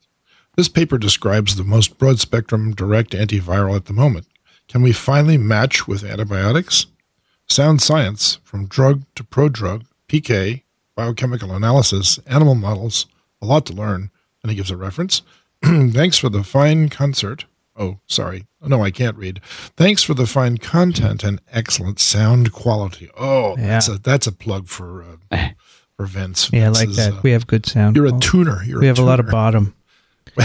Actually, read this paper quite a while ago. I pu- I blogged on it. Oh. Um, so they it's called GS five seven three four. It's active against Ebola virus in uh, rhesus monkeys, but it was also active against uh, other filoviruses, arenaviruses, coronaviruses. My goodness. The cool thing about this, if I remember, is that it is so normally you don't want to have compounds with phosphates on them because they can't get into cells. But this has a phosphomimetic that and and it will still get into cells and then it can be further phosphorylated uh, and Huh. incorporated into the growing nucleotide chain Look at that. right? Very cool uh, chemistry, which um, gets around this issue. Let's see if I said uh, uh, after its uptake, yeah, it's converted to a nucleoside trisphosphate. But the the compound itself is, of course, different from ATP, so it it blocks extension. That's very cool. Um, and so they have a lot of, as he pointed out, a lot of cool stuff here, uh, a lot of uh, data, which makes me think they're probably not going to use it because, as Lynn Enquist always used to say, when they publish it, that means they're done with it. Right. Oh well. Although they had they had academic co-authors here, so it's Yes. uh, Gilead is the company, and then Hmm. um, there are there are folks from USAMRID and um, and the CDC and Boston University. Next one is from Thomas. he writes, "Hello, Twiv, longtime listener and still working through the archives. So, apologies if this has been covered previously. Had a question about the potential effects of changes in U.S. organ transplant regulations on the ev- evolution of HIV.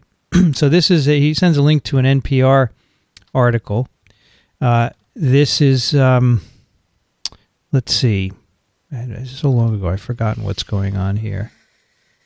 People with HIV who need kidney transplants. Yeah, they're talking li- about it. They're talking about it. An organ transplant program uh, program where uh, they're transplanting organs from HIV positive people to HIV positive people. Got it.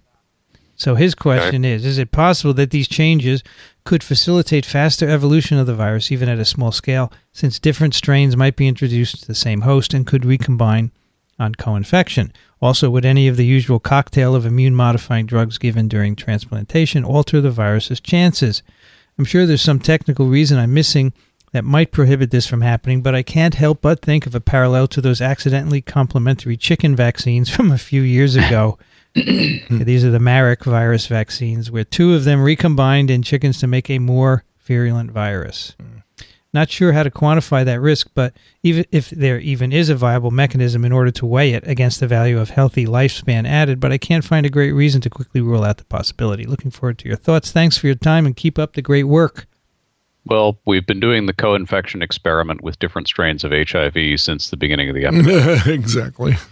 Yeah, people are multiply infected. So there are, you know, for the, the greatest example are sex workers who get multiply infected and they get recombinants, and some of those are, are very fit and they end up spreading through the population. Yeah. So, you know, I'm not sure that this would. Uh, this is a, a minute scale compared to that, probably, right? Yep. yes. Anyway, Nevertheless, uh, nevertheless, I think he's you know he's point. thinking about the problem in an interesting way. very Yes, cool. Uh, yeah. It is a good point. And also, if, uh, if you look at this article, uh, the people who are running this transplant program are thinking about this stuff as well. They type the viruses um, that the patients, the donor, and the recipient have Yeah. before they uh, do the transplant, and they take into consideration uh, things like drug resistance and et cetera, and, and, and how that's going to uh, play out for the recipient in the long run. Right. And in terms of the immunosuppression, I'm I don't know how that's going to interact with the usual HIV drug cocktail, but I I gather these um, this surgical team that's doing this is is aware. right. We do have listeners who work on HIV. You can weigh in twiv at microbe.tv. Alan, please take the next one. Sure. Uh, Jeffrey writes, "Hey, hey, Twiv crew." There might be a slight chauvinistic bias here, but this paper came out recently from McGill University, where the temperature has definitely warmed up from last week.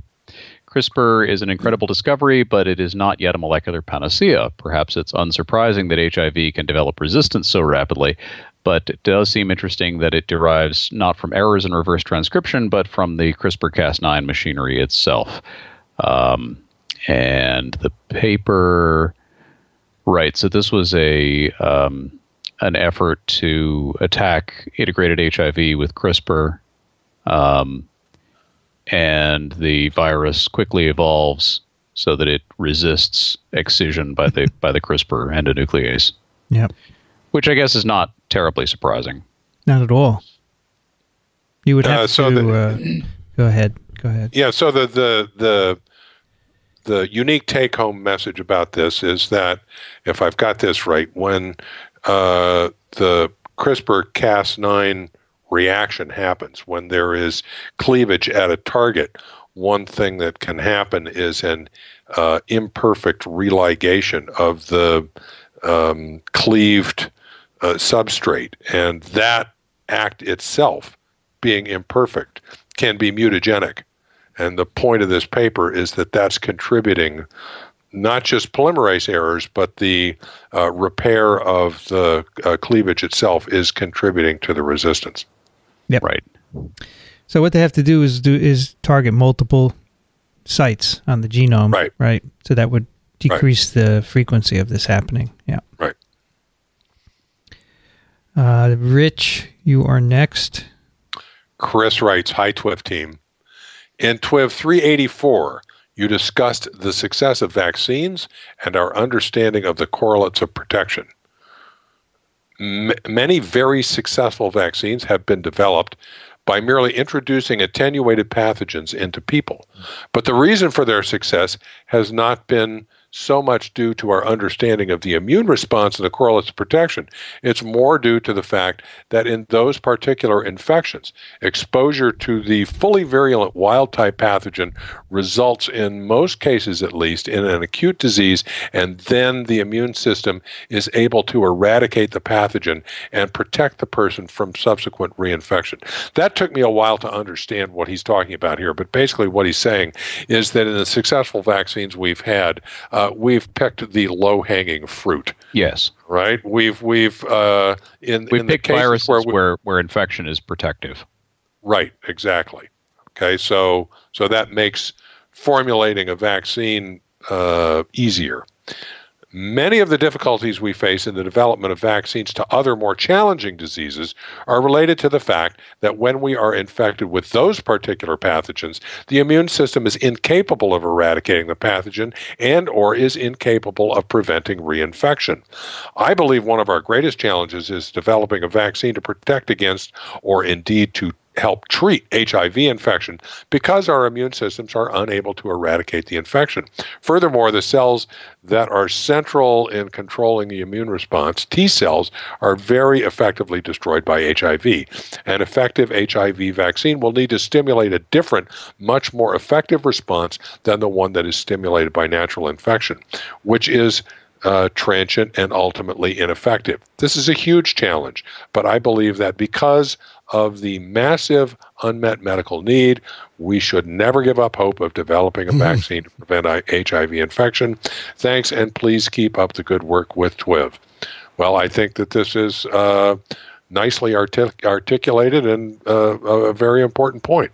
Yes. You know that the the uh, our whole um, sort of strategy to making vaccines is based on a pretty sort of simplistic idea of how infection and immunity works. And he's pointing out that um, there are much more complex uh, scenarios, like with HIV, that uh, makes those mm, traditional vaccine approaches uh, less effective. Right. This is a pretty good Absolute- summary of what, why we don't have an HIV vaccine yet. Yep, or, a, or a malaria vaccine. Although, Right. Yep. although Yep. with Good HIV, point. so HIV does destroy T cells, but the idea would be you have immunity present, and then when you're infected, you stop the virus then. So it doesn't have Yes. a chance to destroy your T cells. Correct. I mean, this is certainly correct on an ongoing infection, but the vaccine would stop that before it got started. Yes. But I, I would still argue we don't know what's protective for Right. for HIV, and it, may- and you're right that for polio, yeah, we we gave a modified form of the virus that mimicked a natural infection. Or yellow fever. and it worked. Or yellow Yep. fever, we don't really know the correlates of infection, Right. but I think for for HIV we don't, and we've just learned for Zika, I think. Right. Yeah. So are. interestingly, I read a little snippet today in the uh, Science magazine that I get regularly uh, that Australia is announcing soon that by the year 2020 they will have completely eradicated HIV infection from Australia.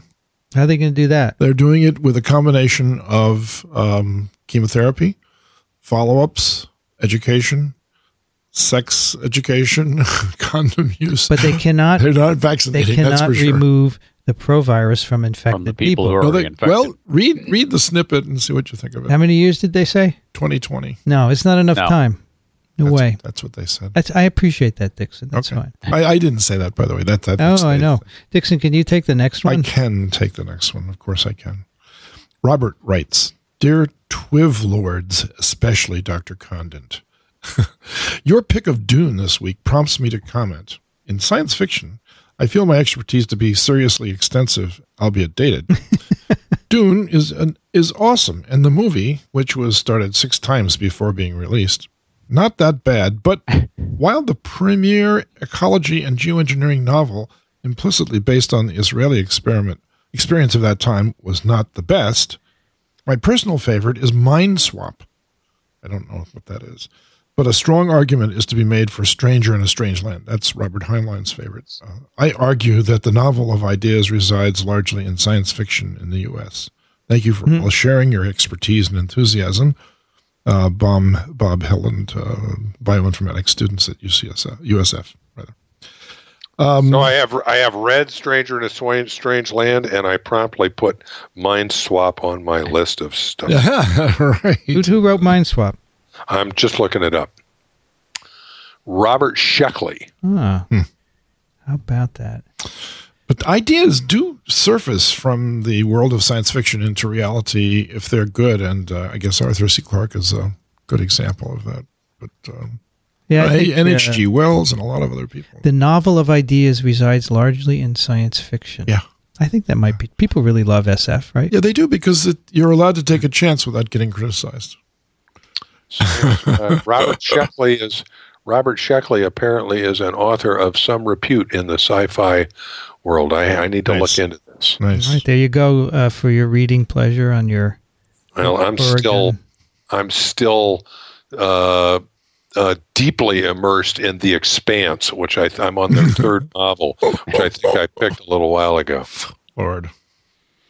Next one's from Raymond. Your guest, Dr. Stuart Firestein, on podcast 385 made reference to a publication entitled 500 Discoveries That Came About by Curiosity Driven Research by a Donald Brevin. I've tried to find this item on Amazon and with a Google search, but with no satisfactory results. Could you hmm. provide a link? I've been a regular listener to the Twiv and Twin podcast via the Science 360 radio network, although I have no, no background in biological science. I have enough recall of my grade 13 biology course that I'm able to keep up with the topics under discussion. the This Weekend podcast provide a very accessible source of information to developments in the field of biological science and does a great deal to raise my personal level of scientific literacy. Keep up the good work. Raymond is from Northern Ireland. I did ask Stuart. he doesn't know what he was talking about. He can't find it either. Maybe that the book doesn't exist. Maybe he's writing that book. It, it would be very interesting. the Yes. title 500 Discoveries by Curiosity, but Yeah. uh, it remains obscure. Maybe someone has found it. Let us know. Because I did ask Stuart, and he said, I don't know. Uh-huh. And then he, they didn't so, get back. so we to remain ignorant of it. we remain ignorant, which is good. we do. All right, we will do one last round of email, and then Alan is next. All right. Lloyd writes Vincent, I love your programs and always learn something. when Oh. Today I caught a book title. Oh, this is uh, also thing. requesting 500 things we've learned. Um, Yeah. and uh, um, then Lloyd adds, "I'm a professional horticulturist. One of the early botanists who explored the southeastern U.S. in the late 1700s was William Bartram. He visited many of the Creek Indian towns in Alabama." And one of the Creek chiefs was amused that he was looking for flowers, so he called him Puck Puggy, which is Creek for flower hunter. Thought it was a good handle for a horticulturist, so I used it. I guess maybe that's his Twitter handle. Nice. Rich. Simon writes, Hello, conquistadors. I watched a YouTube lecture, NIH VCast by Skip Virgin, about how the virome interacts with humans and with gut microbiomes. Something he said brought a question to mind. He said, I think, he said, I think that the virome of a person is in some kind of equilibrium with the environment, and that the influx you get from touching doorknobs and getting coughed in the face means that new viruses are introduced constantly. I would therefore like to hear you guys speculate as to what would happen to the virome of an astronaut Right. In the International Space Station who does not have this constant influx of new viruses, or perhaps to a smaller degree, sailors in nuclear submarines, or just really lonely people, or bioinformaticians. So they're really lonely people. I realize this is a very open question, and you may do with this as you like. Not that we wouldn't anyway. I just thought it was an interesting idea to study. If somebody from NASA is listening to this mm-hmm. and would like to give me access to their astronauts, just give me a holler. Uh-huh. Kind regards, Simon. The weather here in Kiruna, 750 miles north of Stockholm wow. is, as you would expect, quite cold. I hmm. always snicker a little when Alan describes the weather in western Massachusetts as cold. Right. If you could think that's cold, I would like to invite you to visit Karuna. oh, well, time to ride to work on my polar bear. Ciao. okay, so I think this is fascinating. It is. One one It of is. my one of my ideas is that you know they people carry up to space and elsewhere such a complex microbiome that uh, I, I wonder if it would make all that much difference to start with. Plus, I'm not sure that there's a huge fluctuation in one's microbiome. Yes, you do uh, exchange, it it is influenced by the environment, but I don't think there's a huge fluctuation. So I'm not sure that you would uh, would see a great, uh, a huge variation. That would kind of be my prediction, but I think it's a great experiment. I think astronauts may not be the right population, though. Who do you I, I see why you would think of that immediately because they're high above the Earth, but they're they're getting international collaborators arriving. Yeah, you know, right. every every few weeks and shipments of food and and this and that. I mean, there's always something going up to the ISS. My So- guess is the ISS is lousy with viruses. the, the ISS is going to be loaded with viruses and, and bacteria and everything else. Um, and, uh, you know, remember when you orbit, you're also orbiting with everybody who orbited there before. Yeah. Um, so that may not be that may not be as isolated a container as it looks like. Mm. And, Uh, and isn't, but- isn't the air full of like floating urine and feces and vomit? Probably That that's Oh, what they that's said. interesting. is. It, there might even be more exchange. there might be more exchange. That's- yeah, exactly. that's- that's- uh, I would think, you know, in an isolated uh, uh, frozen place like Karuna. Or Well, but there's- in, or in Karuna, he's got exposure to uh, dirt polar bears, and, yes. and animal. I don't think there's any particular place where you would not get. But you know, the key here is that, as Rich said, when you're older and as, as an adult, your microbiome, your virome, they're, they're pretty stable. It's when you're growing up, the first few years, Right. when the external sources really influence its composition. yeah, yeah. I know who you ought to look at. Who's that? Long distance solo ocean sailors. How much time do they spend on their own? They, Uh, depending on what they're doing, they may spend weeks or months uh, without contact with another person. The Vendée Globe is coming up. Rich, Starts, I believe, November 6th, and it lasts for three months.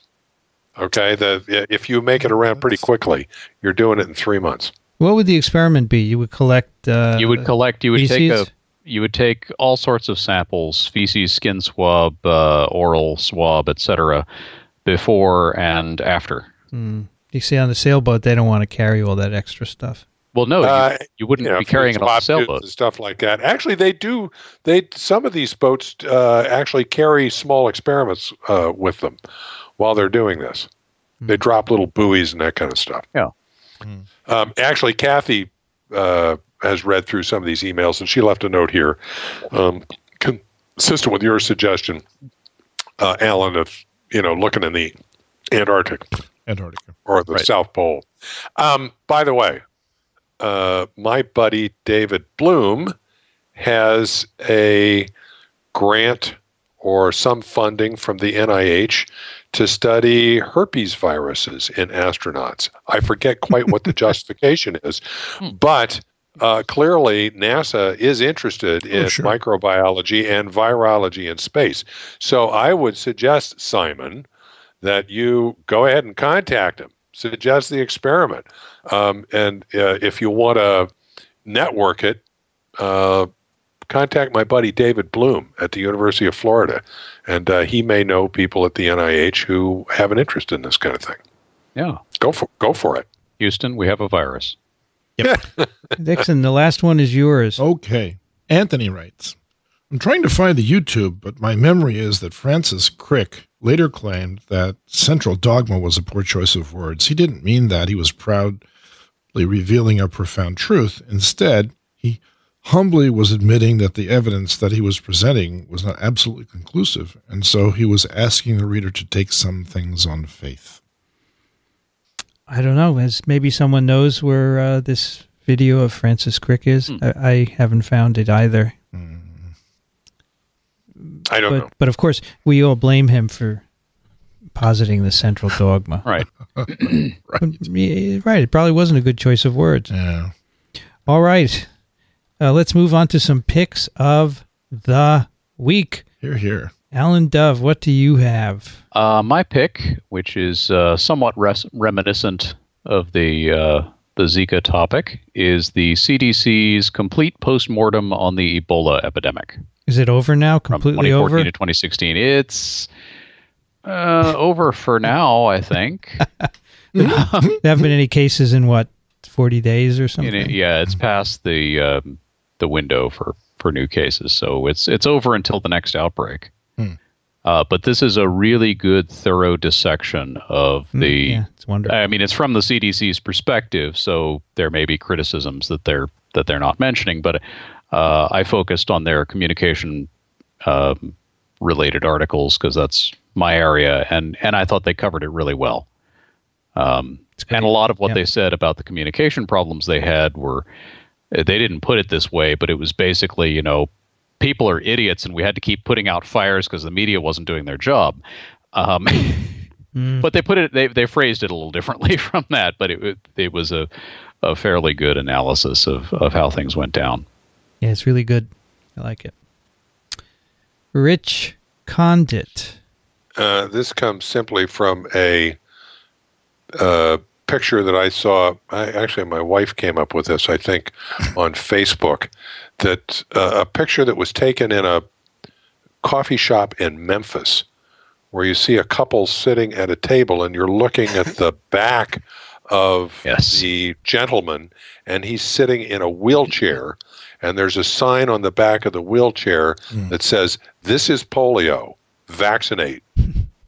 Um, so I thought that was pretty cool. So I looked up to see where that came from, and it came from a.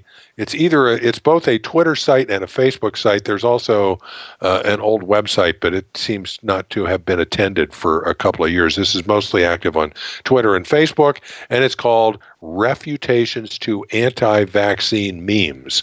So people post stuff on these sites, either in Twitter or in Facebook, that are little things like photographs or other memes that are refutations to anti-vaccine things. So if you look through those, they're pretty interesting, including hmm. this one. Yeah, it's Yeah. cool. Hmm. This is a great one. Love it. Mm-hmm. I, I like that this was apparently taken in the cafe at a whole foods store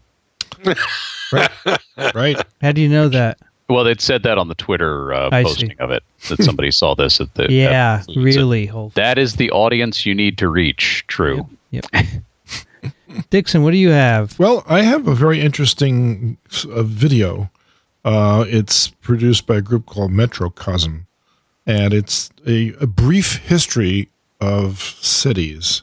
And if you play this video, it will frighten the hell out of you because you play it very fast compared to how these cities actually arose. And when you watch this evolve, you will say, "Oh my God, that looks like a plate of bacteria."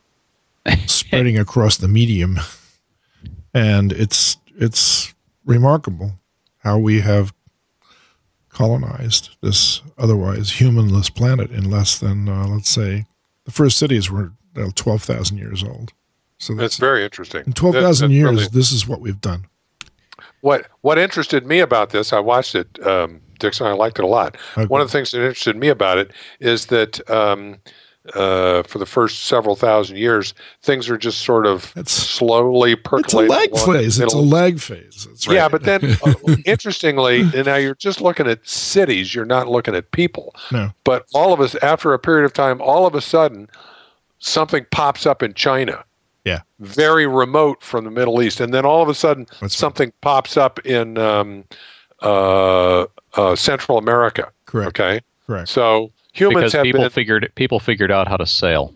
yeah, no no Seriously, no, no, that's I- that's, yeah there's another that's how answer you there. get remote cities uh, showing up along coastlines and and, and river That's true, ports. but another explanation would be that that's where farming first uh, arose.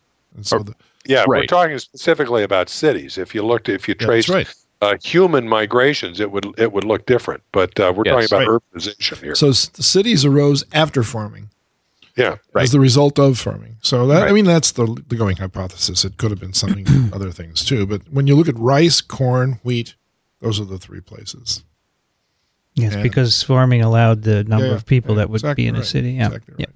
So Dickson, are we going to make it, or are we going to burn ourselves out? Oh Jesus! You know, I my hope is, of course, that we make it, and we should uh, start doing something different. That's for I sure. think we have we have the capability. We need the will. That's right. That's right. I agree. All right, my pick is a practical tool. If uh, you use Photoshop or any similar graphics program, which I often do, you often want to cut the subject out from the background. right. not tr- not trivial. And here is an article at what's called the Digital Photography School on how to do that, and they give a couple of quick and dirty tools and methods and more pro techniques. you got about a dozen to, to select from here, Yeah. and uh, so the those yes. of you processing your uh, data, yeah, right. Exactly. Exactly right. That's right. Yeah, well, I often have to select things like a virus or something. With that nasty little gel with the band that doesn't fit No, you're not anything supposed else. to. You're not supposed to do that, Dickson. no, no kidding. No kidding. That's no good. But this is for uh, other things. yeah, no, no, so no. check this it out. is a good, I find it useful. very, excellent. very, very good. We have a couple of listener picks. One is from Marion Freistadt. Uh, she writes, About 37 minutes, you read a letter. From the subsequent conversation, I take it that none of the TWIV group is familiar with the current skeptic movement, perhaps best embodied by Skeptic's Guide to the Universe Yeah, great. podcast provides a link, which I would offer as a listener pick of the week. By the way, their major conference is occurring as you podcast on Friday in New York, NECSS, which I hope to attend for the first time this year, and which I guess would be my second pick if I had ever attended it. I understand it gets grave reviews.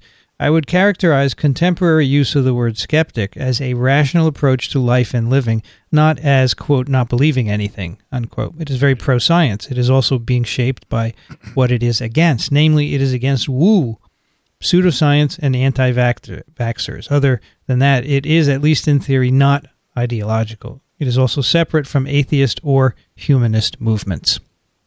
All right, thank you for that. That really clarifies it because if you just look at the word, you would think it's a it's against everything, right? Right. It's not. Uh, Jenny writes, Dear Twivome, here is a short video about the conservation and study of the leatherback sea turtle in Costa Rica, including an awesome rap song at the end about turtles. And it's a lot of fun. So listen to it. Thank you, Jenny. Cool. I heard it. I heard someone playing it. Somebody Yeah, played I, it. mu- I muted it. I muted it. You can find Twiv at iTunes at microbe.tv slash Twiv. Please send us your questions and comments. Twiv at Wait, microbe.tv. wait, wait, wait, wait a minute. What's the We're matter, dude? We're done. What do you mean we're Are done? Are we quitting? This the, the episode is over. yeah, I'm just getting into it. it's an hour. It's an hour and forty-five minutes. You know, You'll have to save it up for the next one. All right. I'm sorry glad you're still. I'm glad you're still with us, Rich. If, if you'll just take a seat, we'll be with you in a moment. Sorry. No, it's Go okay. I'm glad you like it because we're uh, we're here for the next uh, few months. There's, there's no- forever. No, more We're here gap. forever. We're here forever. There are no big gaps coming up like we had, No. you know, a few weeks ago. As far as I can tell, I'm here. Yeah, throughout the, the Yeah. rest of the year, I'm not going anywhere. Just short trips. So there you go, Twiv at uh, Twiv at microbe.tv. That's our email, and you know your email may be in the queue. We'll get to it. I promise. We'll get to it. We'll do an email episode. Although people, some people don't like e- all email episodes. But then other people do like them. So Yeah. That's right. No, Let's tough do it. And we love I them. just like to. I want to please everyone. That's Yeah. No. By the way, I, I think as part of this, we should start collecting the names for our group and list them somehow and take a vote. See if everybody likes, you know, what names. twiv- twivologists and Oh. twiv- Oh, oh. I have right. them all here in the all notes. those. show It's notes. fantastic stuff. By the way, we, as you know, we've been experimenting with advertising. We also were experimenting with crowdfunding, having you support Twiv. There are many, many thousands of you, and some of you may like to support us. It would, as I said, help us to do some different things. It's not that we would like to make money, but we would like to travel. We would like to do some new stuff, which would involve getting some help and so forth. So, a couple of ways you can do that. You can go to Patreon, patreon.com slash microbe TV, and you could subscribe to Twiv or to Microbe TV, all the podcasts for a buck a month or for whatever, whatever you want to give. And that would be great. A buck a month is nothing. And if all of you gave us a buck a month, or if just 5,000 of you gave us a buck a month, that would be awesome. We could do so much. So consider it. It's not a lot of money. And if you don't want to subscribe, some people want to just give some money, you can go over to microbe.tv slash contribute, and we take PayPal or credit cards over there. You can give us a little money, or you don't have to. This is free for everyone, and if you don't want to contribute, that's fine. But we'd we'd love to get your help. Dickson Despommier Yes. is at verticalfarm.com. Thank you, Dickson. You're welcome, Vincent. Pleasure to have you. It was good. You think so? I know so. Absolutely. I feel like Rich. I, I wish this would uh, go on a little bit more today because I, I too was into it, as they would say. Alan Dove is at alandove.com. He's also on Twitter as Alan Dove. Thank you, Alan. Thank you. It's always a pleasure. Rich Condit is an emeritus professor at the University of Florida in Gainesville, but he is now the wandering virologist. Peripatetic. There you go. The itinerant virologist. Thank you, Rich. Sure enough, always a good time. And I'm Vincent Racaniello. You can find me at virology.ws. You've been listening to This Week in Virology. Thanks for joining us. We'll be back next week. Another TWIV is viral.